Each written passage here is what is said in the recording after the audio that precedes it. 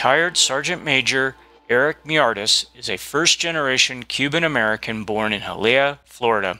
He is an accomplished former special operator and intelligence professional with 29 years combined experience in the United States Marine Corps and United States Army. He spent over 23 years serving within the United States Army Special Operations and intelligence community in a variety of leadership positions, tactical, and strategic assignments. He has led and conducted sensitive operations across multiple combat and contingency operations. Erick's career achievements include serving on numerous sensitive overseas contingency operations, counter narcotic, counterterrorism, and hostage rescue operations, as well as combat operations through Operation Enduring Freedom and Operation Iraqi Freedom. He is certified and experienced in signals intelligence, computer network operations, human intelligence access operations, and is a certified U.S. Army Interactive On Net ION operator, as well as a JSOC CNO operator. Sergeant Major Miyares received his Associate of Arts degree in foreign languages with a Caribbean Spanish emphasis from the Monterey Peninsula College. His bachelor's and master's of science in cybersecurity from the University of Maryland University College. He is currently pursuing a PhD in cyberpsychology from Capital Technology University and is a 2023 National Defense Science and Engineering Graduate Fellow.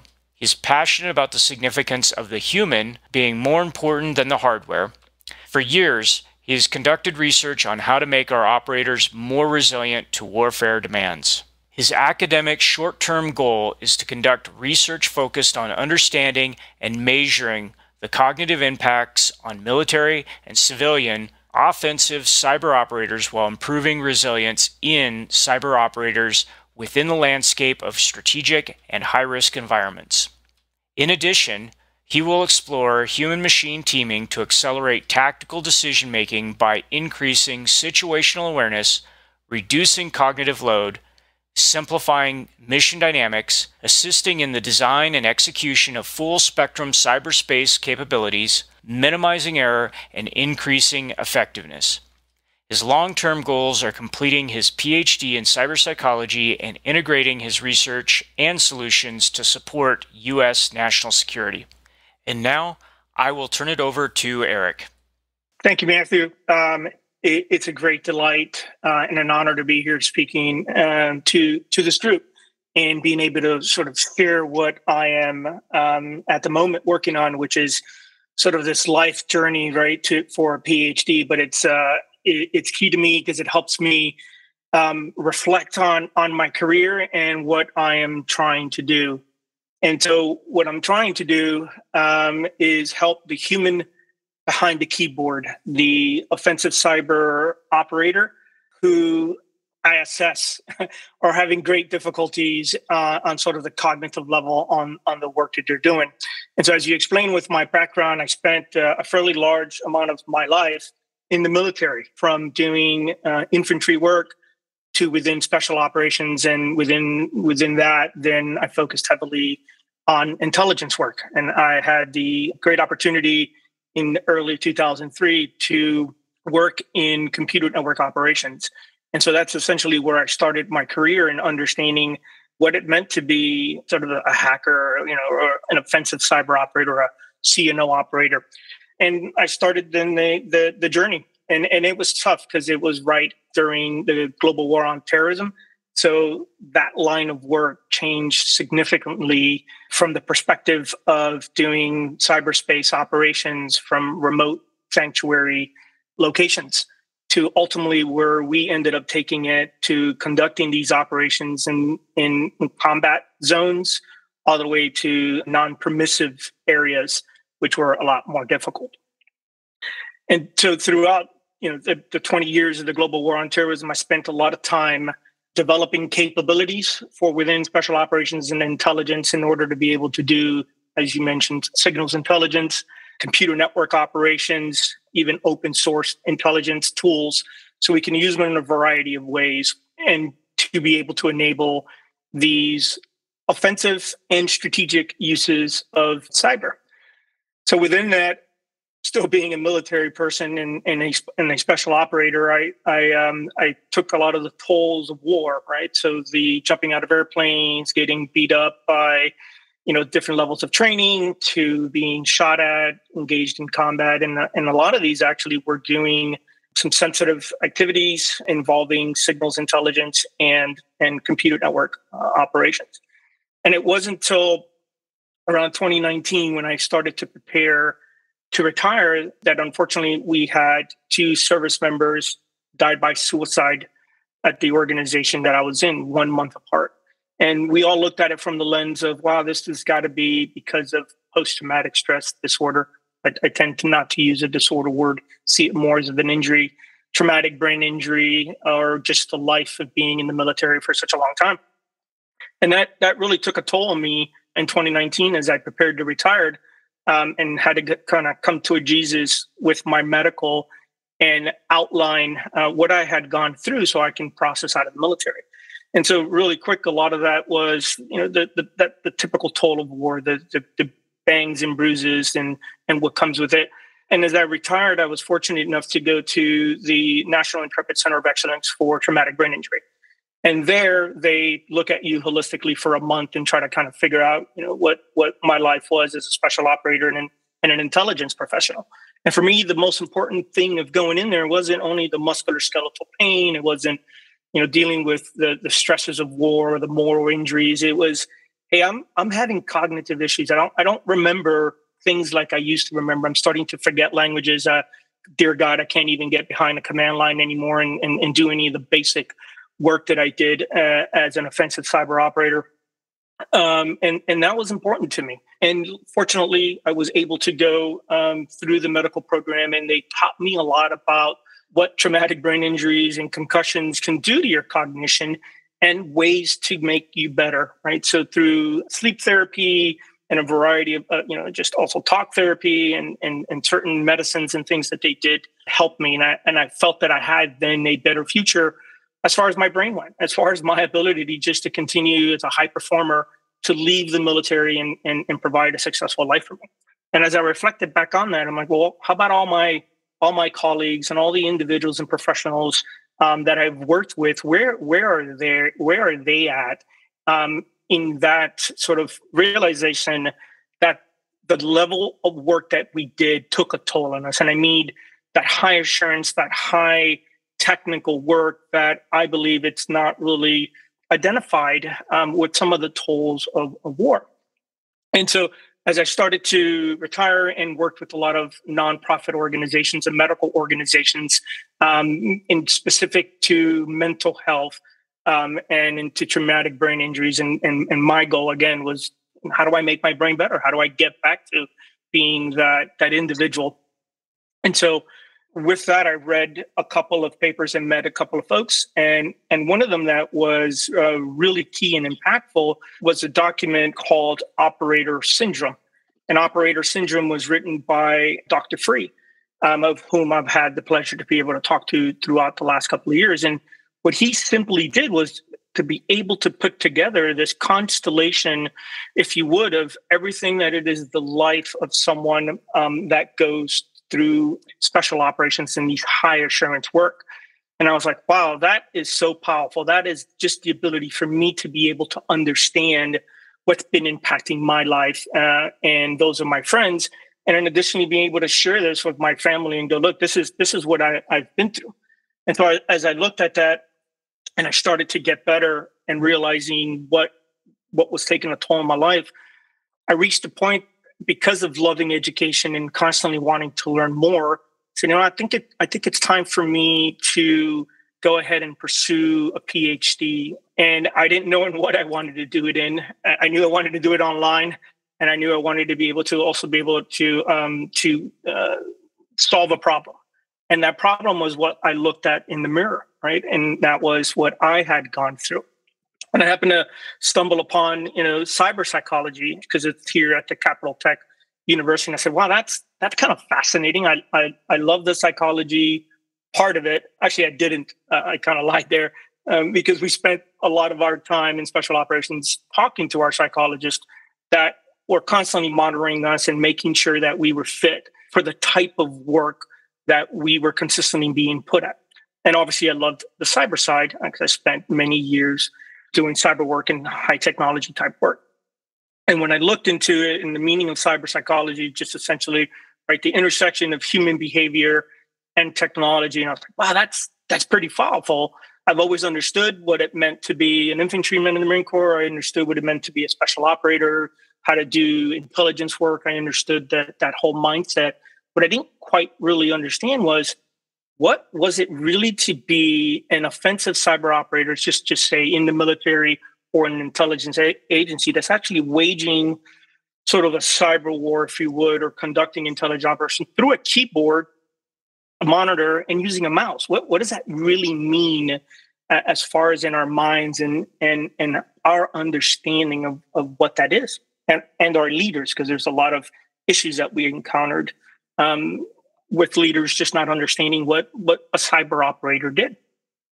And so this is where I'm at today with my PhD, and it's you know, it's kind of a a life goal right now. I I get to give back, if you would, and sort of chip away at this. And so with that, my research is in operational cyber psychology, and it's in support to offensive cyber operations. And I chose offensive cyber operations because a lot of the literature and a lot of what we see today, and many of the professionals are involved in it, is the defensive side. But very little is actually kind of known of what it is in the world of being an offensive cyber operator. And so during my literature review, I was very fortunate to find very key papers that were eye opening to me personally, um, but also helped me navigate where I'm at today. And so, you know, a few of them really quickly were one that was actually written by Dr. Dykstra from, from NSA, and he was able to do a survey and put on paper what, what it meant to be uh, a offensive cyber operator, if you would, the, the cognitive load, the fatigue, and the failure. And so, just in those three things, I was I can associate with that where I'd never had necessarily on sort of the soldier marine side of the house. I never really looked at what those impacts were. I was like, wow, that's that's really powerful. And then I found another couple of studies from um, from the Air Force, and they were also then studying early in 2013 and 2018 the uh, the, the similar occupational burnout, the stress, and all the way to suicide ideation that was associated with what they they termed their remote operators, uh, the remote warriors, excuse me, that included cyber operators and drone operators and some of their intelligence. Wow, that's that's powerful. Actually, one of those papers uh, put me in tears because uh, as I read it and and I was able to associate with all the symptoms with what their research, what it was leading to, and I, w- I was never able to really understand that while I did all this highly technical work. I understood the muscular skeletal pain that I was suffering from and the and the sleep generally associated, but not how it had been impacting my brain, if you would, my cognition, my, my ability to continue to engage um, in highly technical work, and, and, and for that matter, even in, in languages. And then there was a couple of other ones that were interesting were, were from a foreign perspective.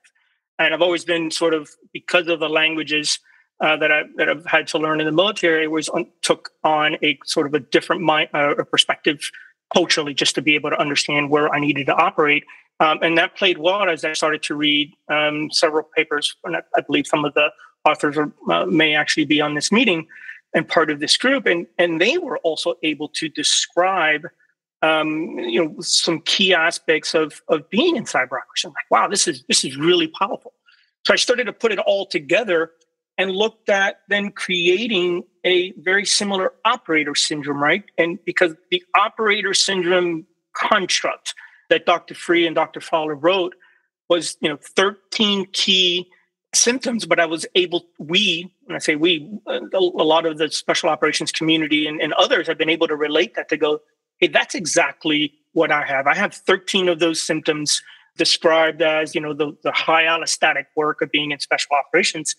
And I said, well, how about if we create something very similar? And this is, as I did my literature review and sort of my, my mapping, um, these are constant terms that continue to come up. And so that's kind of where I'm at today, which is continuing to conceptualize cyberspace operator syndrome with all the research. And then the second part of sort of where I am at today is looking at cyber psychology and operational cyber psychology. So Dr. Spigliata, Marine Reserve psychologist and researcher at John Hopkins, he also put out a fascinating paper with two key points that I took away. He said, first one was, hey, what do, why don't we look at how we assess and select our special operators? Because uh, there's key attributes uh, psychologically and, and physically, if you would, that uh, special operators possess that have uh, allow them to navigate sort of the ambiguity and the toughness of the world that they get thrown into. How about if we look at maybe a way that we assess, recruit, you know, maintain, uh, and uh, employ our cyber operators with a very similar framework? Said, okay, I can relate to that because I actually went through that, and, and I know that that's actually helped me persevere in a lot of the the work that I had to do again in in cyber operations from a from a remote perspective, sitting in a building somewhere, to running around uh, in a combat zone, actually executing cyberspace operations.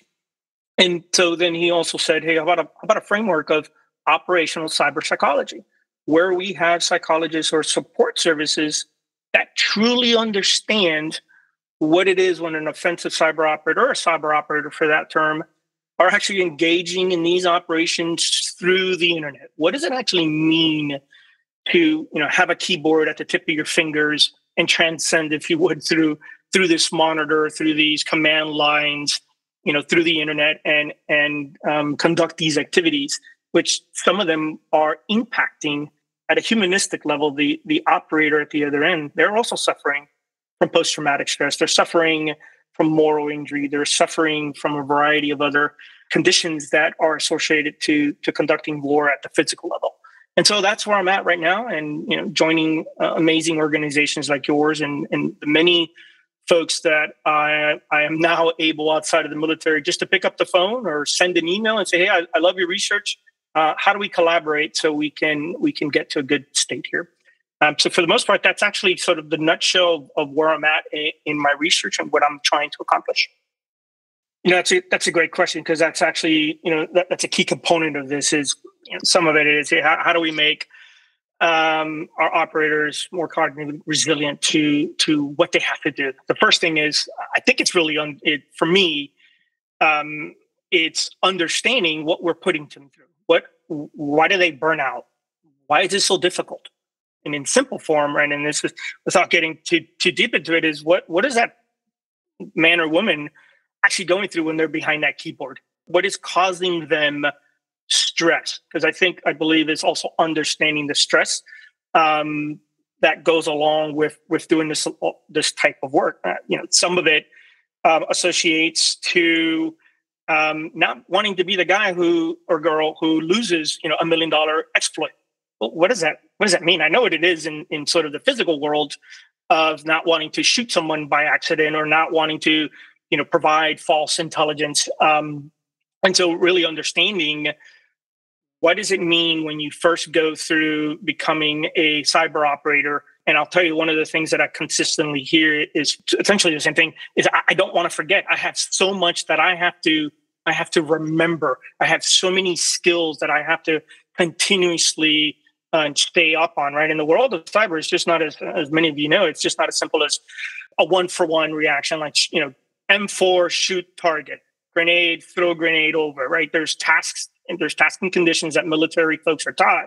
Well, when you go into the cyber world, I believe at least right now in the cognitive resilience piece is a it's understanding what they have to do truly.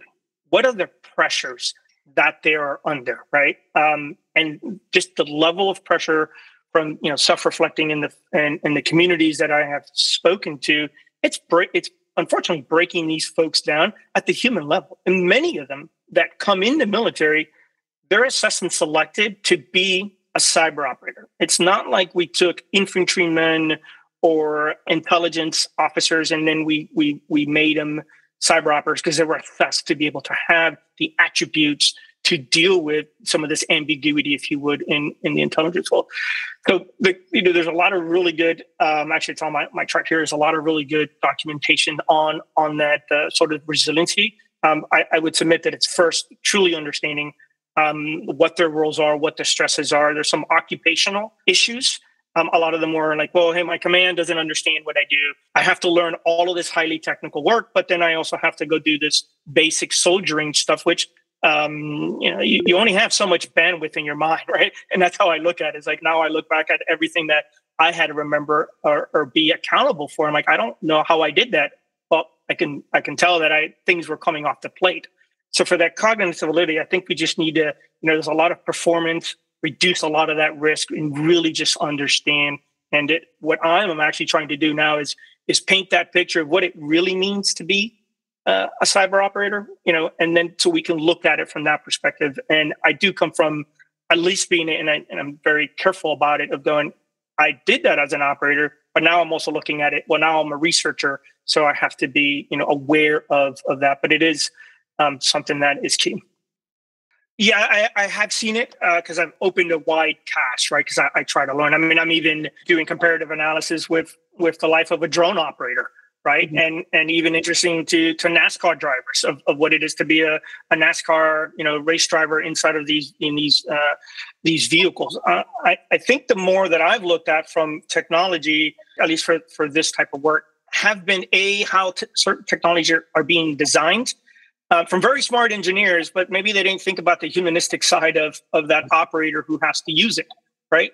or hey you're making one more technology that's being put in a toolkit for an operator maybe we're not looking at that holistically and the impact of that individual who has to use that technology i have looked at it just because of, of some of the work that that i've i've done on the technology um, that's used for your point to, to cybersecurity and maybe some of the difficulties and and those that um, develop the tools for the cyber operators. But beyond that, no, not not intensively. If not, I would go down those rabbit holes because I love I love technology and I love developing technology, but I haven't looked at it from from that framework. Thank you.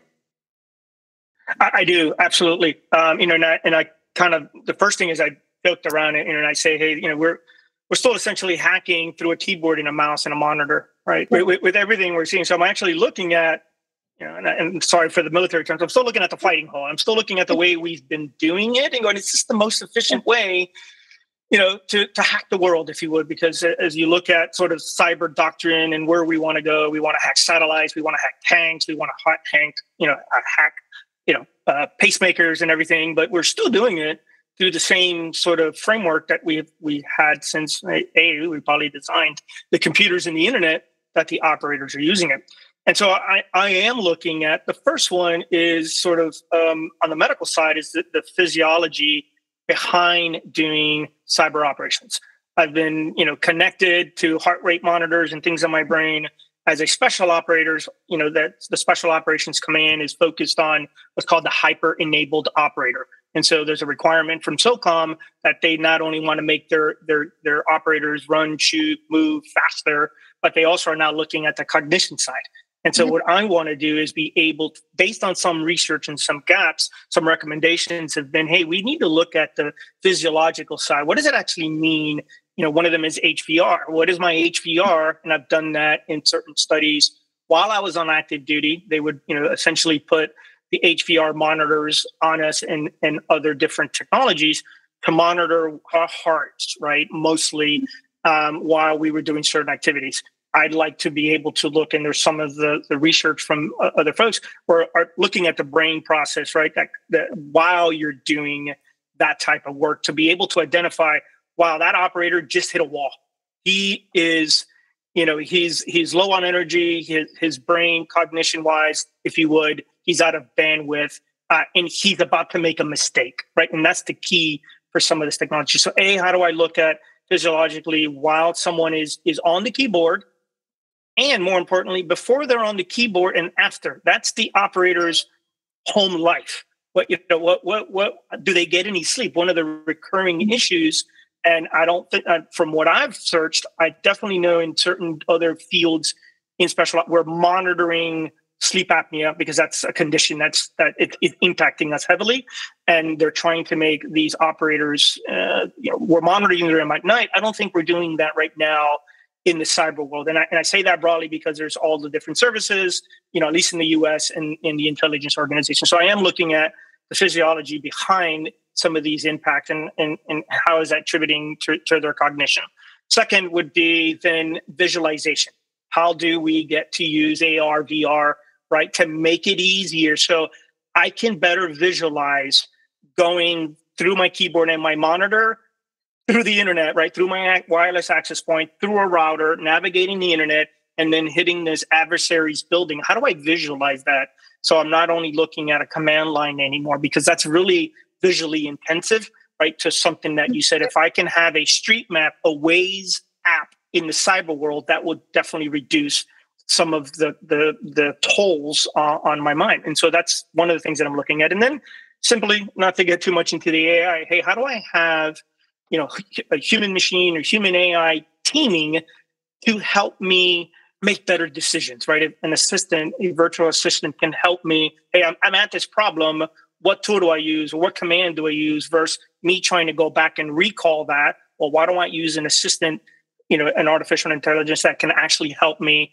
navigate? And I'm still the human who presses enter, right? That's the key mm-hmm. different thing. So that would be two. Three is communications. A lot of it has been written about, um, you know, the lack of communications between the actual operator and maybe the collection manager or the uh, exploitation analyst that's giving him. Well, if that analyst isn't really understanding what I'm seeing, you know, they can see my monitor, but they're not really understanding what I'm going through. So how do we improve that communications? And, and so it's been talked about like, uh, you know, cognition, team cognition and understanding what, what they're doing. And then to the command group, right? The command group who's sometimes unfortunately having to stop these operators midway through their operations so they can get authorities well, that communicate, you know, that guy is still or girl, their brains are still revving. They're still hyper focused. They're they're experiencing um, hyper vigilance because they don't know if they're going to get caught. Or now the cybersecurity professional at the other end is potentially seeing them on their system while they're waiting for communications, right? So communications, in, and at least in military, is key. We have to be able to communicate sort of at, at that speed. Um, so those are the three technologies that I am definitely looking at, and I am trying to incorporate that now in, into my studies. Um, and then, sorry, there was one more. And then visualization goes back to the tools. Right now, everything is command line. How do I not use the world of these apps, right? That it can simplify the work that I'm doing. And some of that is, is certain ways that organizations, for security reasons, have to mm-hmm. use you know simpler tools um, but i think these simple tools again when we go back we're like hey this has been way too many years of still using these you know these simple tools we need to work backwards i believe from the human operator and build these technologies to make them much more efficient um, I love this topic because again, this goes to that humanistic side of the person behind the keyboard, right? Everybody thinks, and when you read, it's like, hey, cyber warfare and cyber tools and cyber weapons and fire for effect and all of these terms, and at the end, we forget that poor men and women that are behind, and even and even to to a point, the the exploitation analyst that or, or mission commander, whoever that gave the order or gave the concept to go to go do something, and so for me, um, and how I've had to reflect on it is a lot of the work. So when I left the military, let me work backwards. You know, um, they're like, "Hey, you have post traumatic stress," and this was based in 2019. Before that, for 20 something years, um, at least of operating at the special operations level, I had no idea I had post traumatic stress. Like I tell everybody in the world now, I have post traumatic stress. It's not a disorder; it was an injury, and I am way better because I've actually worked through each of the um, things in my life that cause the trigger, right? So in post traumatic stress, they always look at what the triggers are so you can work backwards from them, right? So I had several of them from the typical post traumatic stress of uh, I don't want to be in crowded rooms, noises, you know, loud noises, and flying in an airplane, right? So, but I've been able to work backwards from those and get therapy and understand how they impact. I mean, a lot of it was just talking about it. Hey, I didn't know I had a fear of flying because a lot of the planes that I was in almost fell, fell out of the sky, or me jumping out of airplanes. A lot of times my parachute didn't open, or I hit the I hit the ground hard, right? And then so I took all of that post traumatic stress and then acknowledged it, worked through it, and then I'm actually a much more powerful person because I've been through adversity. I know what it is to have stress in my life or have these questionable feelings about X. And I'm like, okay, I'm good. Like, so there's very little if you would, that's in a closet somewhere that I have to work about emotionally.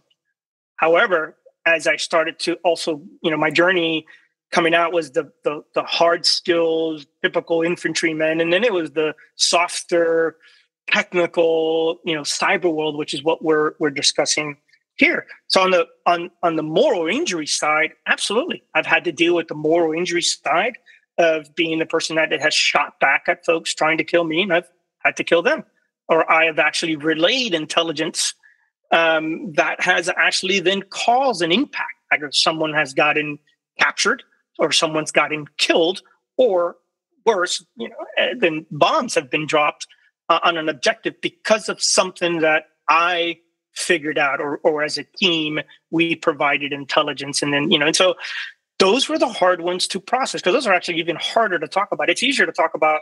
I got shot at. I shot at someone how do you say how do you process from an intelligence in this cyber world that I led to the capture, I led to the death of someone? That's huge. That still needs to be discussed in what it is. And so then now there's also this moral piece of how about the guy that I just broke into their network or we did this we did this activity and the poor cybersecurity person at the other end who who their job is to defend their networks well, it's my job to get in their networks, right? So we're kind of fighting each other, if you would, in this cyber domain. And now there is a known breach, right? So intelligence from their organization was stolen, or I don't know, a nuclear reactor spun out of control, whatever, right? Someone's going to get blamed. Well, now as an operator, I have to think about, oh crap, what did a what did I do that potentially put that person at risk? Or their livelihood. Maybe it wasn't as dramatic as I just painted it. Maybe it was just, you know, a small, you know, cyber company somewhere or organization. Um, but that person now loses their livelihood. This is something that we have to think about. And in many times, and this is where I, I kind of like the operational cyber psychology aspect, which is having support services that truly understand what that team's about to do. Hey, you're about to hack into you know this tank or or this thing that can harm someone that they can get caught. We're not talking about that. We're not talking about what that impact is. Similarly to what we do in the combat arms side of the house where we know that an infantryman is going to go in contact and they're going to battle someone. Well how about in this cyber warfare construct? We also start understanding the moral you know the moral injury side and get ahead of it right and be able to talk about it and so some of that is pre operations, post operations, talking about it because that is now what is being done in the, at least in the special operations community to deal with some of this moral injuries. Like, hey man, we just got into a gunfight and you killed a bunch of people. Let's talk about this before later on you're dealing with a post traumatic stress disorder, right? Stigma. Well, let's get away from it. It is just part of it is the unfortunate sides of what we do, uh, but we got to take care of that human. And what does it mean to be human? So we can grow from that and actually do our jobs much better. Um, you know, just being really good at us, being a cybersecurity professional, defensive or offensive cyber operator. That's that's. I think that's only part of the uh, equation of what really matters. You know, um, some of the research has indicated, um, you know, when when they've done the selection that it's hey, that's great that you got really smart people. You know, uh, I think the military kind of failed a little bit at this. They got really, really smart folks. They brought them in because they would meet the definition of maybe what a defensive or offensive cyber operator is, and then they put them through these long courses. Which, unfortunately, I think you you probably aware of the numbers. It's you know the percentages to get these individuals that come through. It's at thirty or forty percent. Uh, so there's something there, right? The military is never perfect. We're we're constantly trying to, you know, fix the foxhole and make everything better, if you would. So I think there's a piece of it a first how do we assess and select the people that come in here to have some of these tools the resiliency the emotional intelligence right? A baseline that right. can help them a understand which is what you know what i spoke about earlier of what we're going to really put them through. And it isn't just hacking and learning python and and sql and and no that's the least you know. So being a hacker is you know in the sense of a, a hacker that's not doing this for a purpose, right? Not for mm-hmm. motivation or money or for the kicks of it. There are a lot of rules in the military and in the intelligence community of what we're going to take that same mindset of a hacker um, and then we're going to professionalize them and we're going to put them into this uh, industry. Now, I submit that the military is still learning how to do cyber, right? The intelligence organizations I think are much better the time that I've spent in them because there's a lot of rules, but they when they bring in the civilians, they're training them and they're teaching them a certain where they're assessing and selecting them, and then they're they're teaching them how to think a certain way, communicate a certain way, and then use certain tools. And there's less ambiguity, I would submit, in the intelligence community than there is in the military because of the authorities. Yes, you you can do this, you can't do this, you can use this tool, you can't be in on that infrastructure. Geez, that's so complicated, right? It already just stresses you out, just understanding what it what it takes to be on that keyboard that day. And so what do we do? I submit it's really based on the literature. Um, you know, there's a lot of things written on cyber defense and cybersecurity. So if I looked at it from a cybersecurity lens. And I had to be very careful because I then stopped using cybersecurity in a lot of my searches, right? Because I would get the entire world that focused on cybersecurity. So my bachelor's and my master's are in cybersecurity.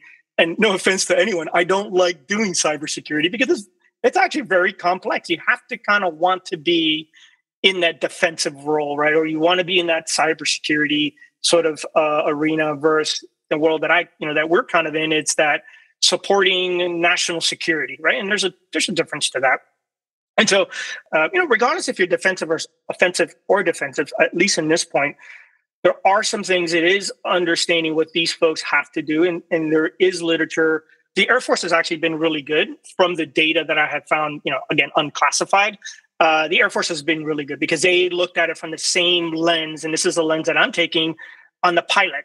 The pilot is, you know, very important to the Air Force, right? So there's a lot of physiology, psychology, and even the human factoring design of making that airplane, you know, kind of revolves around backwards, if you would, to that pilot. And I think we need to kind of do some some very similar, you know, on on where are we building the tools and the infrastructure for offensive and cyber operations. There's, you know, yes, there is a little bit of, of, of differences there. So in the literature, you know, there is a large um, piece of it, it's all that cognitive overload, right? That cognitive workload. Okay, well, how do we start reducing that? If it's been, you know, on both sides, on the cybersecurity and defensive, how do we start reducing that cognitive load on on that operator? Is is some of it coming because they're having to to wait in the queue to be able to, you know, efficiently communicate to the, you know, exploitation analyst what they're seeing, and then they need from communications, what do they do next? Are they not sharing the same visual picture? right? Similar to maybe how drone operators, if you look at that today, drone operators have done some um, critical work, right? They've had to, you know, press or fire that little red button that has had in a kinetic impact. And so before all of that happened, whatever happens in that little trailer in, in Nevada has had to be very precise because of the end state. I think we need to look at some of that similar infrastructure that's used in drone operations uh, potentially in, in, in the cyber in the cyber world because of just the effect of it. You know, some of the key things that came from the research was you know cognitive overload and fatigue, large burnout, and it isn't just burnout that's associated with hey some of these operators want to leave the military because they want to go make money in the private industry. I just also did a stint in the private industry doing kind of boutique cyber threat intelligence with former operators and analysts. And and you know they they, they didn't leave the military because of of wanting to get more money. They were just burnt out. And they were burnt out by the way that sort of the military and the government housed the way that they did work and they wanted to go somewhere else that gave them a little bit more flexibility so there's also some aspects of sort of that occupational burnout and then just the burnout of having trying to do that work in those communities and in those uh, restrictions that come from doing it uh, within the military. You know, there's post traumatic sort of stress that comes with it. There's ethical and moral distress in the type of work that we did. What did it really mean ethically to be a operator, right? If you would, in the IC or, or in the government. What, what does that mean? What am I dealing with, right? So that needs to be looked at. And then it's everything that happens on the physiological side. I don't, there hasn't been a lot of research that I have found on you know, not only hey, is the desk ergonomically correct, but there are issues, the sleep issues. There is, you know, the the some of the stuff that I've looked at on the eyes, right? Are are we really figuring out how to make the proper eyeglasses that help, you know, these poor people that are sitting behind these monitors for eight and ten hours? Well, there's eye strain that, you know, on the medical side, um, you know, that eye strain can cause fatigue. And well, how do we start eliminating that in, in, some of sort of the infrastructure? So sometimes I got to put on my, you know, my just the basic hat of a of a leader that was in the military and looking after my folks and going, how do I how do I enable some of this research back at that kind of leadership to make their jobs easier, and then also reflecting on my time doing it, but then looking into the future, and then you know, uh, and additionally being able to reach out to all you researchers and go, hey, what do you think? Help me, help me solve this problem, or help me at least take the ball forward a little bit. So on the stress, I've, I've you know, on the post traumatic stress as a whole, um, I think I've discussed it a little bit and, and sort of just been um, vulnerable, uh, you know, expressing, hey, I've, I've had it and I've worked through it, and I'm aware of what it is as I continue to um, engage in sort of my research and reflect and, and talk to other uh, operators and folks um, that are doing this work. And, and, and, additionally, I also come in from the from the side that I do a lot of veteran advocacy. So I do support openly um, with mental health, suicide prevention, um, and then looking at, at, at how, as a as a whole, if we we're, we're attacking uh, post traumatic stress, um, traumatic brain injury, if you would, moral injuries, and then um, some of the different tools that are, are being out there. And so on, on the growth, um, not to get in, you know, I literally just it just evaded me the you know the the the meaning of, of the growth piece, but how I've I've I've, I've taken it is, is simply just growing from it. The, the acceptance that was the the, the first thing, um, which was the hardest thing in, in my house. Really quick was when I had my two friends die by suicide and they were one month apart. It was being able to acknowledge that I had post traumatic stress. That you know all of these years of doing this uh, what it actually was, and then breaking them down into what was causing me post traumatic stress, right? Like what were the triggers? And that's generally what's, I think, easier associated with not just saying, yeah, I have post traumatic stress, but what is it that's actually triggering it? And then what are you doing to get over it or A, to understand it? Um, and then how are you working towards conquering it. That's that kind of growth, right? Again, as I mentioned, like I had fears of flying an airplane because of all the times I thought I was going to crash or I thought something was going was going to happen. Uh, so just understanding understanding those, and so the growth pieces for me right now. When I talk to folks about you know um, uh, a acknowledging post traumatic stress and then growing from it uh, is that acknowledgement, and then being able to talk um, um, and work through it. And some of it is not only individually; it may sometimes be with the folks that you're around. That's very powerful. To you know, we don't want to keep these types of secrets from our family and our friends because they're constantly around you. So I think once you you're open with them, this kind of facilitates this ability to to grow past um, what's what's bringing you down, what's causing you know the depressions, the anger, um, it changes your hormones, it changes your sleep. You get into substance abuse, and you can get into this very poor behavior. And so, once you're acknowledging that and you're working on it, I see that as the growth piece, um, and just acknowledging, just like an injury, right? I, I always equate post traumatic stress more to an injury. Hey, I sprained my ankle. Okay, that doesn't mean I'm going to get kicked out of the military. That means I just got to heal that ankle, and then I've got to be aware that I don't do activities again that are going to hurt that that knee same thing with post traumatic. I think same similar thing with post traumatic. I think just growing from it. My my chair, um, as many of you know, and probably you, many of you are, you know, it stopped me at my first roadblock when I'm preparing my IRB and kind of laying out what I want to try to survey in my interviews to gather my data. And the first one was, uh, what what is your definition of an operator? What what who are you trying to focus on?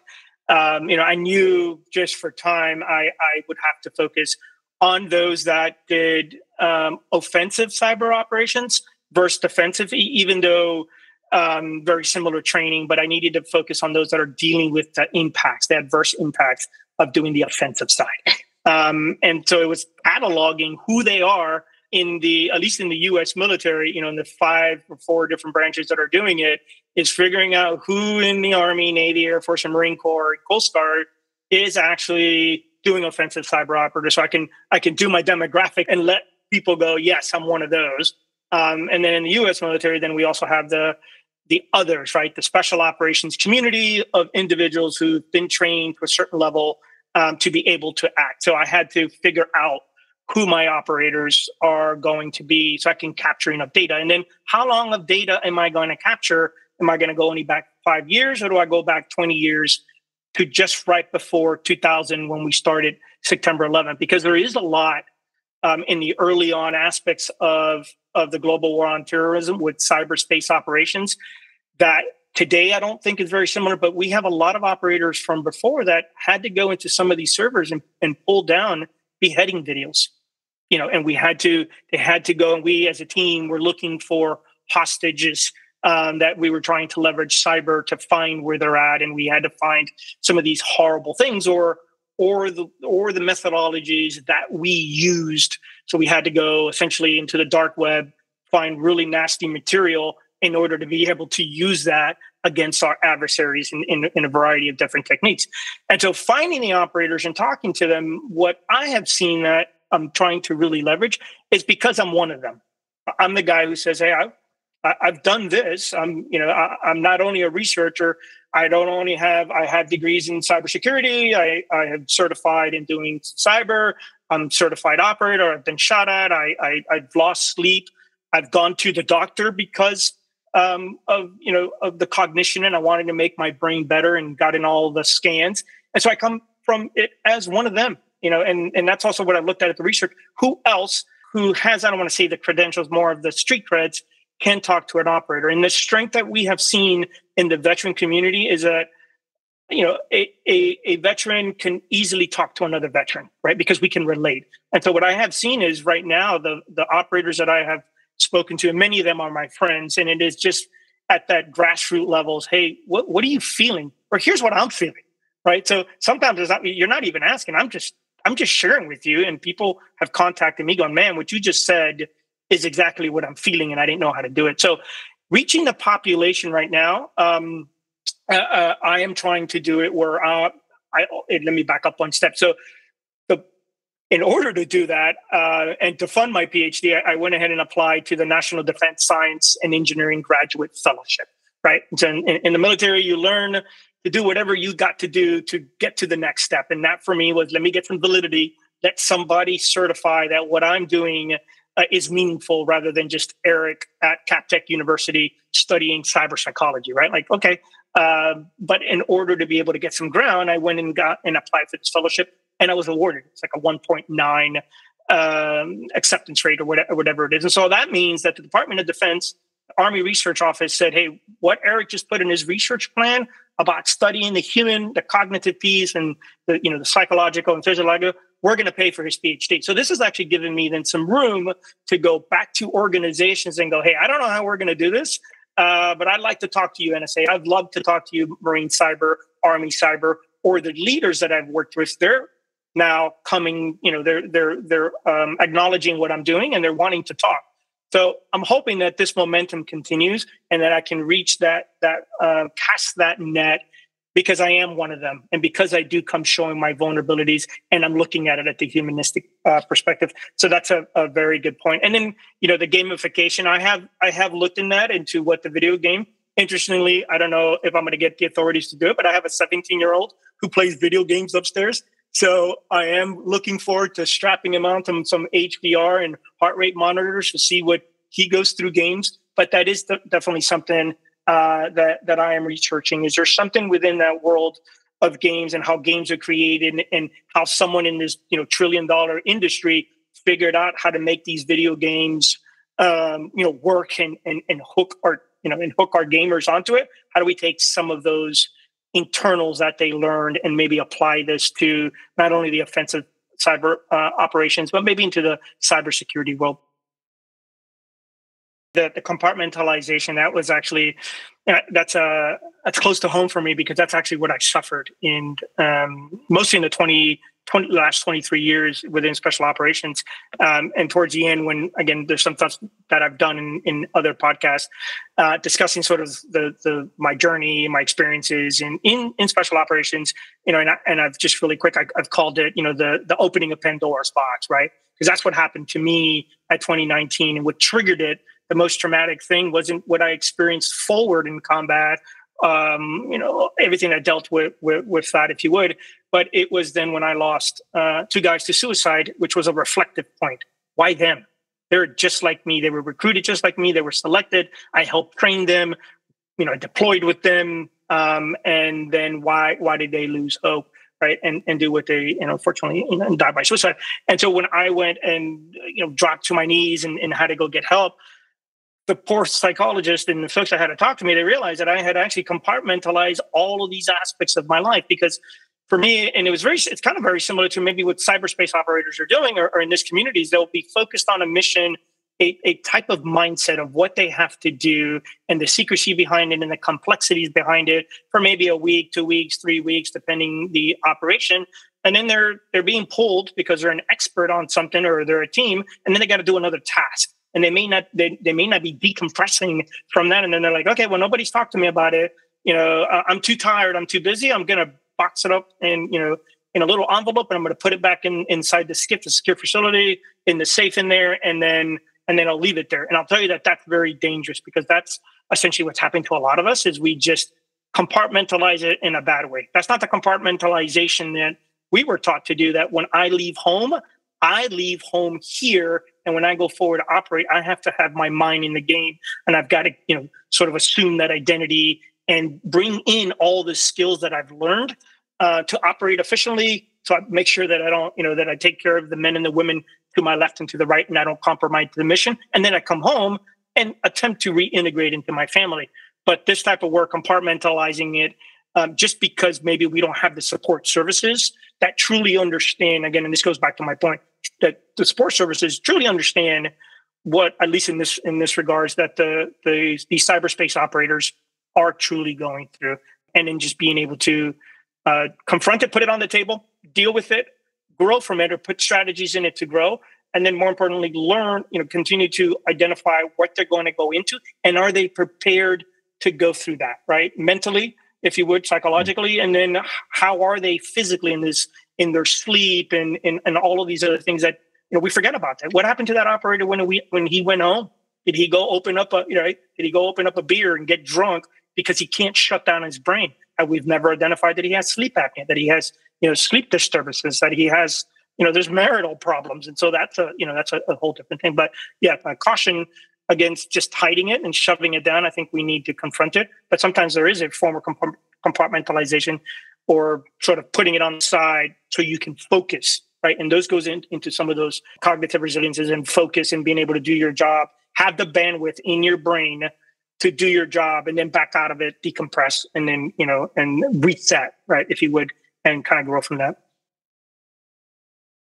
The first thing that I, I've actually do, and it's interesting because I got to get the feedback here next week, is post service. You know, just really quick. You know, a, a large part of what I mm-hmm. thought was facilitating me for getting the honey to do list. So my wife says, "Hey, go go to Walmart and go buy these things," and I'm like, I'm this highly trained, you know, guy, but I go to Walmart and I completely forgot what I was doing.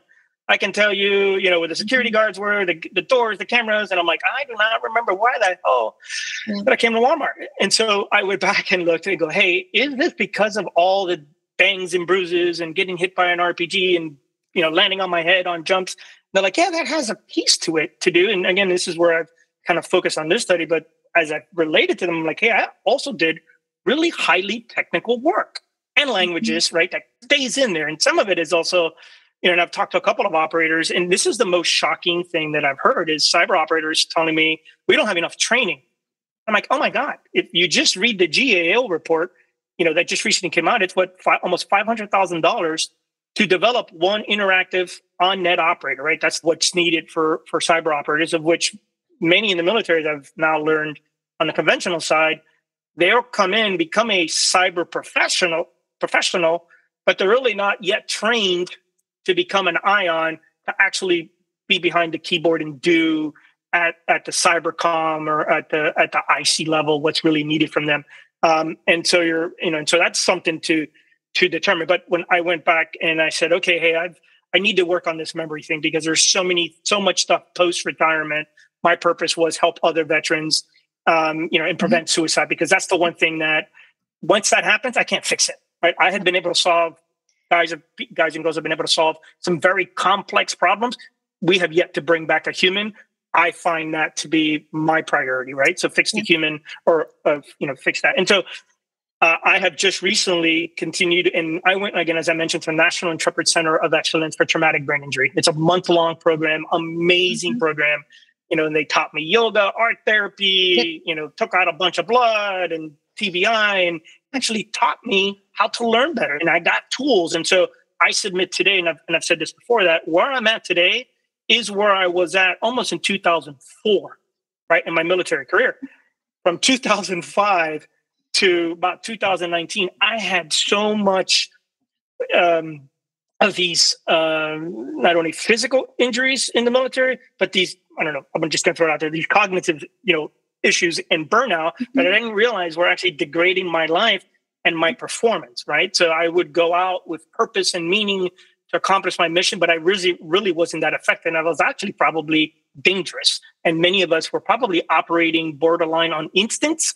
And so as we've left the global war on terrorism and we're going into this higher state national security kind of requirements, it's going to take us to reset our people and our mm-hmm. processes to better study them so they can be efficient. And so the one thing that's helped me save, you know, that helps me is my OR rate because I look at it every day. I actually look at the measures that I, so I do mindfulness every morning. I do all of these techniques that I've learned. Actually, when I do my research uh, for about 45 minutes, hour, you know, like deep work, I actually put, clip on my HVR. So as I'm mm-hmm. doing the research, I'm actually monitoring dingings and hey, you're in the green, you're in the green. And there are times that now I'm learning those tools. If I get stuck, I breathe, you know, th- those little tools. Um, and then I've also, when I sit down and I'm looking at that, I also go back and monitor my what my sleep was because sleep is to me the one of the number one things, and I know it's also the number one thing that when most of these poor, you know, cyber operators, if you would, go home, no one's really asking them, nor do they know how that person's sleeping. Unfortunately, many in the military aren't being assessed for sleep apnea till they're getting ready to retire or leave the military. It's not like I just got sleep apnea the day before yeah. I decided to leave. Why, why, don't we look at? So I'm also looking at, at this field. Um, I was also an air crew member, so there's a huge physiological requirements to being in an air crew and and jumping out of planes in sort of military free fall, right? Like they're very big.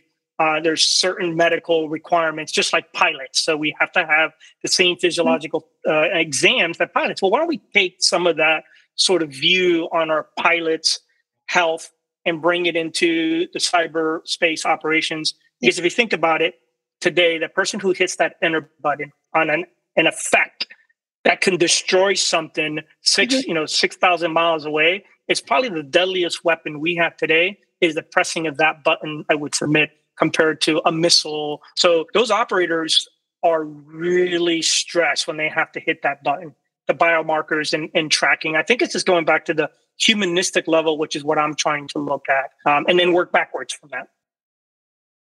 I, I appreciate that. Uh, the two key things I, I took away from it uh, was you know what did someone have to do in the duty of their country, and then sort of return them um, return them back to to their lives, and and and hopefully in a meaningful manner where they can uh, go into corporate industry in the private sector and um, and and have a you know a fruitful life for themselves and their family. That, that's that's how I'm looking at it right? What did they? What did someone have to do for their country, for their democracy? Um, which hopefully today, this is the the main reason um, we have uh, individuals who come and join the military and they join uh, at least our intelligence and our government uh, because of that that sense of pride, that purpose, um, which is what why, why why they do it.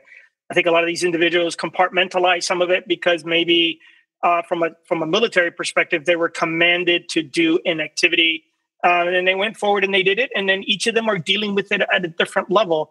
Uh, the one thing that, at least for me, what I have seen, and I speak on myself from the years that I've been in the military and and and retiring as a sergeant major, so someone who is responsible for the many lives of of, of uh, my soldiers uh, behind me, um, was you know, why did we tell them to do it? They did it, and then today, because of suicides and post traumatic stress and um, just this cough, this hole that these individuals carry on their back. And unfortunately, they bring it home and it impacts their family and their children. We see this just really quickly with our Vietnam era. The children of those that came from Vietnam, right? We haven't yet gone back to those very many that, that, that served in Vietnam, help them um, humanize what they had to do, what they believe ethically and morally was wrong, uh, the people that they've lost, right? So they also are dealing with that grief. And then how did that how did that impact their family and their children uh, into the future? So the undo, I think it is really understand many that I have helped in the post traumatic stress world or the moral injury is they had they, there was no framework at the human level to understand what it meant to have to shoot someone that was shooting you. What did it mean to provide information that caused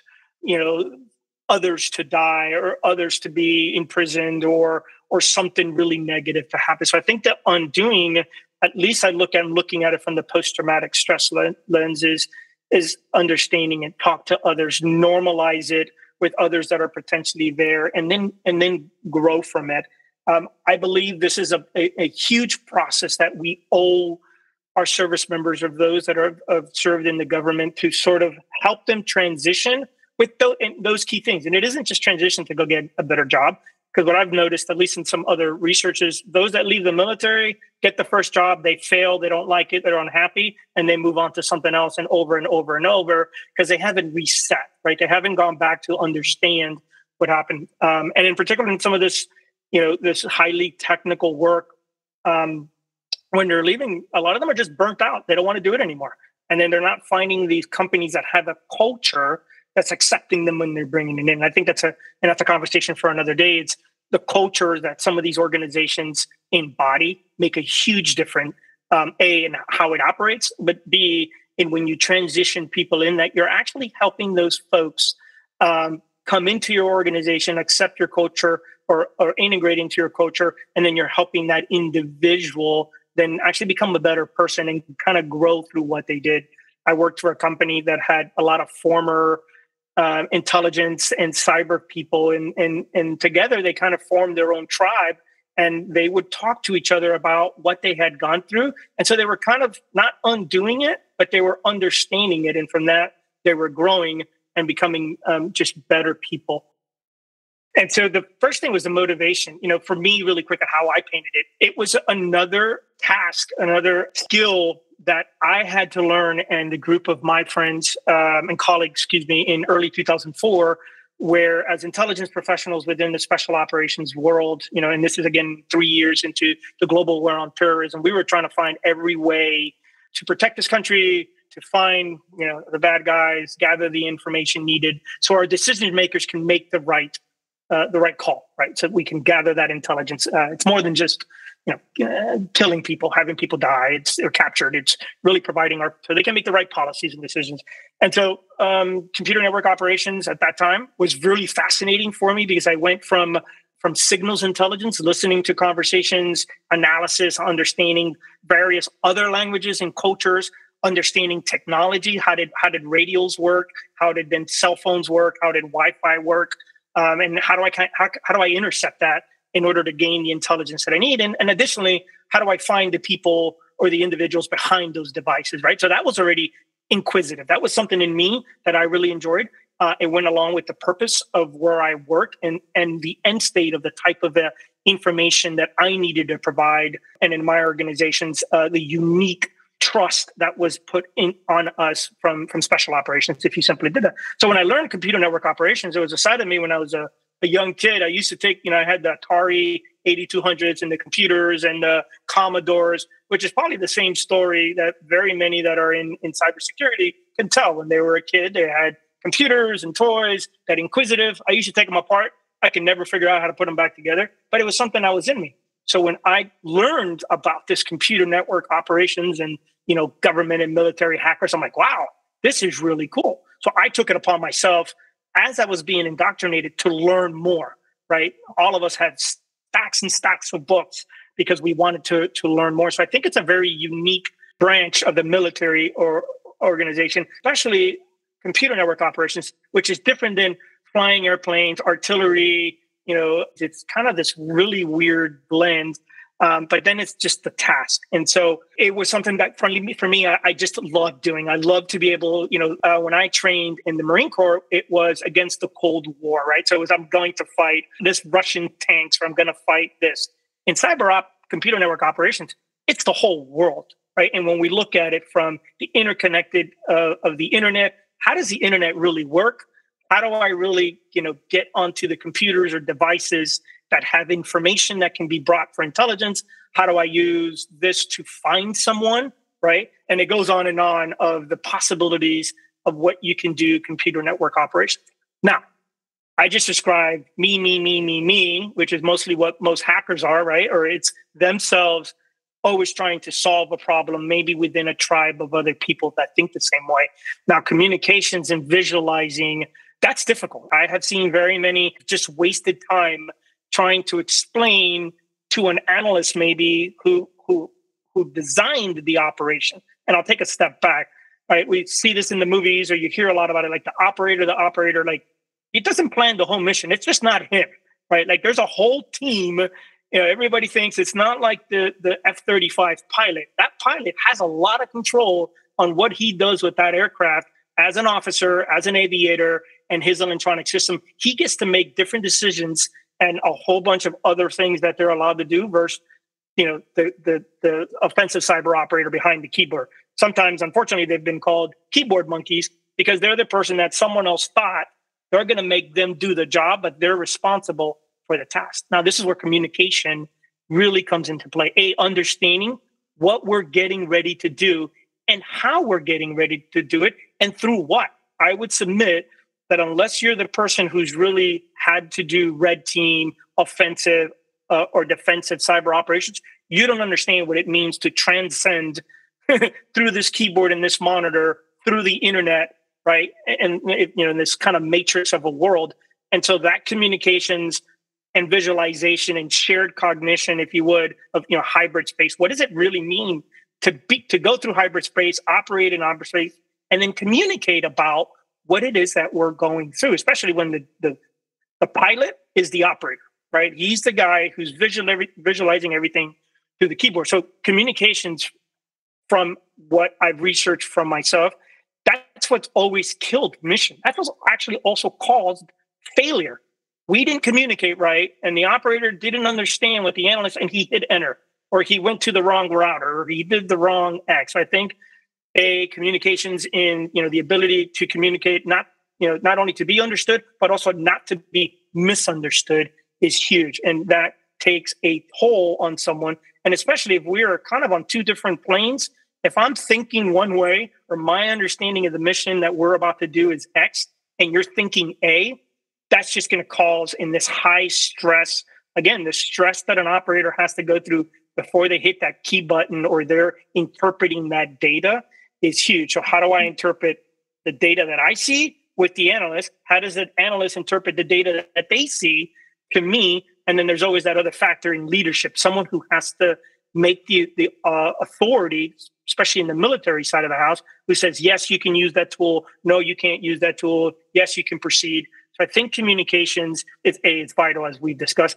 But then how do we communicate? How do we communicate and have that same visualization of what's going on. And, and then I would submit a little bit forward because there are some risks that the operator may see that he doesn't communicate to the analyst, as well as the mm-hmm. analyst may see, like, hey, you're about to, you know, get into this this router, and this router has this, uh, you know, adversarial uh, detection capability. And if we don't communicate, you know, it's kind of like the analogy of a fighter pilot. That's why I like using aviation you know the pilot and the person that sits in the back they have to communicate very well or they're going to crash and die or they're going to drop a bomb on something. So there's a there's a, a really well understood method uh, of what they're doing and how they have to communicate. So they're not understood but they're not misunderstood because i think communications and how we communicate um, i think it's vital and it's also will help reduce some of the stress right? If i can communicate efficiently with the team if we and we've also understand what we're about to do not only hey you're gonna go hack this but what does it mean what are the risks when we reach a risk and we have to make a decision point how do we communicate effectively and timely so we can continue to move forward. There's a huge risk. I actually just spoke to uh, to a fellow operator, uh, and I wish I can find the word, but he actually had given me some key words on what he was dealing with. And so, yeah, it was uh, isolation. It, it, it's dealing. It's interesting because it was also emotions, right? You don't you don't think that someone's gonna. Uh, they're just explaining to me what they felt and what they view and they were actually a cyber officer and they were explaining to me what you know they were assessing and some of it was emotion and fault tolerant environment what does a fault tolerant environment mean well the first one is hey there's a lot of risk and when there's risk and you're working with someone else you need to communicate right and then also what happens is what happens is we're in a team and we're stressed out we got to do this for a long time and we just don't get along because we can't communicate we don't have the same understanding, right, in a simple form, you're going to feel isolated. You're going to feel like, hey, I, I'm not part of this team. I'm going to just keep this to myself. And that's not good in this world. Again, it's a, a high um, intellectual type work. You know, you have to remember a lot. You have there's a lot of risk. Um, you're worried about that that risk tolerant of making a mistake. And here's the other thing, you know, and you get isolated is if they make a mistake, from my understanding now, that that's kind of like your hallway file. Like someone be like, "Ooh, that guy messed up. They made a mistake. They're not that good at Windows anymore. Uh, they they're the ones that got caught, or they they burnt that tool, and now because they burned this tool for the next three months, we can't do operations or blah blah blah blah. So people get isolated. That's not a good feeling. Again, when we try to, and I I can step back and go, I know what it is to have infantrymen, you know, in combat feel isolated because there are things that they couldn't process from more. Why did we shoot that guy? Why did my friend get blown up by a bomb, right? In, in, the physical world, in that military world. But most of these are still military soldiers that have to think like a militant, if you would. But now they're in this cyberspace world with people of, of a unique personality. There are very few today in offensive cyber operators that came from combat arms. Actually, part of the survey that I'm about to do is actually asking did you start your military career as a cyber uh, officer or enlisted, or did you come from prior service? Because I, you know, I know from individuals that those that come from different branches in the military already come with different skills in resiliency, emotion, you know, maturity. They have a different life set. They understand, or did they come with problems? Did they come, unfortunately, with untreated post-traumatic stress? Did they come with traumatic brain? Do they already have moral injuries? And maybe these are things that are not assessed. And I believe that that will factor into how we communicate and have this sort of uh, baseline. Yep, absolutely. No, Dave, I, I like that. Yeah, the, I, I don't think I really looked at, into it as the martial arts. Um, you know, into a lot of the martial arts um, principles um, were key to at least the last 20 years that I did in special operations, right? We do a lot of combatives, we do a lot of, um, you know, exhausting the physical body uh, and what gets us through um, a lot of the the physical pains um, is is um, you know, not fighting through it, but we learn the skills. Of, we understand our bodies, we understand our minds, we understand our, our limitations, and then how to how, how to perceive, you know, how to continue to go forward in this adversity and, and stuff like. And it's the same thing. Like we, you know, we can get into the combative sides of beating each other up, and then having to do a task, and what does it mean, and and we're very good at okay we lost or we didn't do good.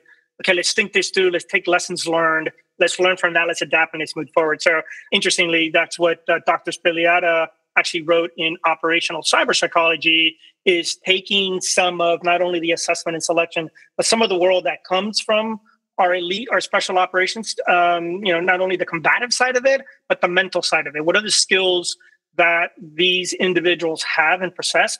And more importantly how do the how do these organizations foster those? Because you can be as elite as you want but if you're not inside of an organization that funds it that maintains it that makes it the culture of doing this you're you're kind of an isolated person. And we saw that early on in special operations. We had a lot of folks that did their own thing. And then smartly the commands went back and say hey what are you doing? Because we probably didn't think about doing jiu-jitsu. One of the big things in in the special operations community is jiu-jitsu. So there's something from jiu-jitsu that teaches them principles that folks are utilizing in combat or learning or training.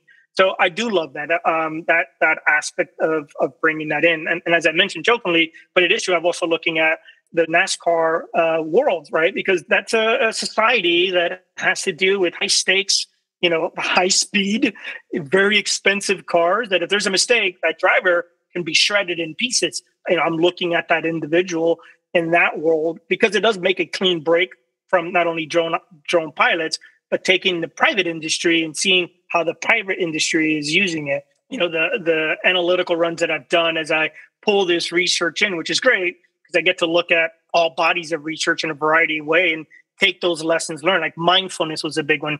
I was doing mindfulness for a long time, and now how do I purposefully after I left the military and sort of I left in this sort of Charlie Brown bubble of just confusion.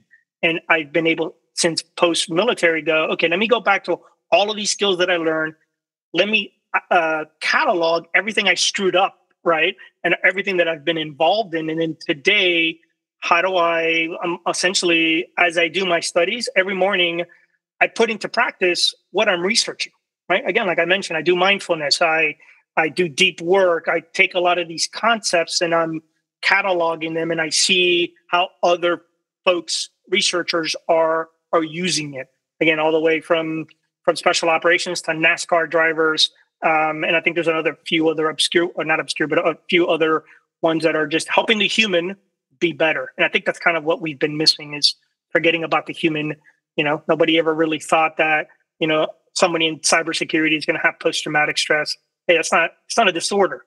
It's just what they're dealing with because they don't understand it. And that's the huge part of post traumatic stress is I don't understand what that traumatic that traumatic event in my life is. But once I understand it, the mind is very powerful. We can get through it. We can grow. And I would submit, I like to be around people who have vulnerabilities because it's those people that don't have vulnerabilities that I'm scared of. The people that I was right next to in the back of an airplane and we were about to jump out of a plane at night at 30,000 feet. If they tell me they're not scared, I'd rather put them and sit them down. Because if they're not part of that fear, it's actually what helps you think, right? And when, when someone's like, no, I'm okay. There's nothing wrong with me. I'm not scared. Nope, that's the person I don't want to be around. So I actually value those that show their vulnerabilities because they're ready for growth and they understand the mistakes that they've made and they probably won't do it again. The shift work and messing up the circadian rhythm um, is huge, right? And so um, a lot of what I take from circadian rhythm is actually a lot of the research that's done, and, and probably later on I can share it um, from the special operations community because that's the one of the number one things as of more recent that they really started to factor in. They're like, uh, you know, so the basis of uh, being an infantry guy or special operations is you do a lot with less sleep, and then they realize, hey man, wait a minute, that's kind of stupid, right? There are other ways to measure um, your ability. You know, yeah, in, in the initial phase, we've got to see how you act when you're out of sleep, when you're tired, uh, because then that's when you're vulnerable to make a mistake. Is when you're tired, hungry, cold, scared, or you don't. And, and, and the individual doesn't understand that. And then as of recent, as of recent, maybe the last ten years, we realized, oh crap, we really got to focus on the sleep, and we got to get away from you know, hey, ranger up. You can work. You know, what is it? Die. Uh, I don't know. Don't sleep when you die. Like we realize that that's kind of kind of stupid. And then in particular, when people are transitioning, because that world of me sucking it up in the civilian world, it's just horrible. It's just you know, and once people leave the military, they're realizing that they weren't sleeping, they can't get back into a rhythm, and so the circadian rhythm and and, and the impact on it are huge. So that's why I mentioned like my Oura ring, and there's a couple of other. Uh, there's a lot of research on there where they're using Oura rings and other wearables that get to the point on sleeping, right? So I'm able to really quickly account for what I did today. Did I drink? Did I eat too late? Did I not get enough exercise? Because that's important. You got to get a certain amount of exercise, simply put, in order for the, you know, at least in the ring of the algorithm to go, hey, buddy, you didn't get enough of what exercise you needed. So this is gonna this is gonna hurt your sleep. And then sure enough, when you're waking up and I check my app, it's like, yeah, buddy, uh, you're gonna you're gonna be a little sluggish. You're not gonna be, and I can relate what the data says to literally how I'm feeling, and I gradually start to change my habits. And I think that's huge, right? So I understand my habits. My family understands my habits. Um, I think in the military, again, the issue was we weren't understanding truly what that impact of shift work is. It's hey, suck it up. You got a mission to do. Well, wait a minute, guy. Why are we not looking? There's a rule in aviation, as you all know. Sometimes you've been stuck in an airport and you're like, where are the pilots? They got to finish their crew rest because it's been studied. it's known, and you know, especially not to cause an airplane to fall out of the sky or crash because a pilot didn't get enough air crew rest. So something I've heard that they're kind of doing in some elements in cyber operations is looking at crew rest, uh, but I think they need to do it more also on the physiological side. Is you gave them crew rest for 12 hours, but did that cyber operator know how to decompress? Did they know how to kind of shut off their brain and leave work where it's at, and then get into those habits where they're not they're not drinking, they're not overeating, they're not eating the wrong food, going to sleep too late, or drinking a Red Bull right before they go to sleep, right, which is disastrous. And I think once we use technology to start monitoring the circadian rhythm and that they were able to get into the right sleep. And I ended with like, I know that if I don't get my one hour and 20 something minutes of, of deep sleep, I'm going to have a shitty day the next day because I see it because I got to come behind these computers and start doing research. Um, and it's, you know, and stay focused on what I'm doing. Then I'm monitoring myself because I'm also real time looking at my HVR. So circadian rhythm and work shifts and people being cognizant of, of how they're impacting someone's life. You can't just suck it up.